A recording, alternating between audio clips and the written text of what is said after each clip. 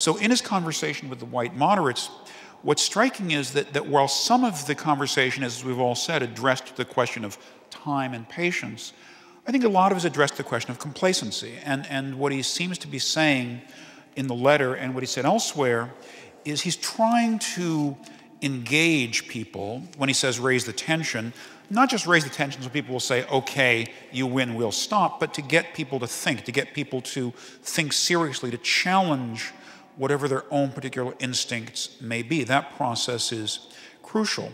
Now, it's a difficulty today because when you look around, there you can look at people of any political persuasion and they can tell you a long list of laws they think are terribly, terribly unjust.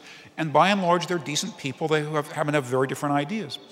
One of the powers, I mentioned it before, while not everyone, I think, always has to be willing to suffer the consequences, one of the powerful aspects of suffering the consequences for disobedience is it tests the depth of our commitment to the cause. It's easy for any of us to say, well, that law shouldn't be enforced, and I don't like that one, and I'm on the left, and I don't like this one, I'm on the right, and I don't like that one. We can all say that in conversation, but to risk for it, to go out and, and take a chance, I think, is where the commitment is really tested.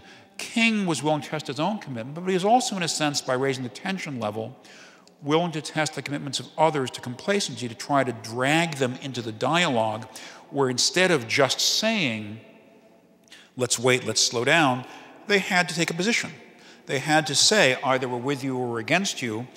Uh, they had to have a reason. They had to engage in the conversation. That's crucial to that kind of, of disobedience.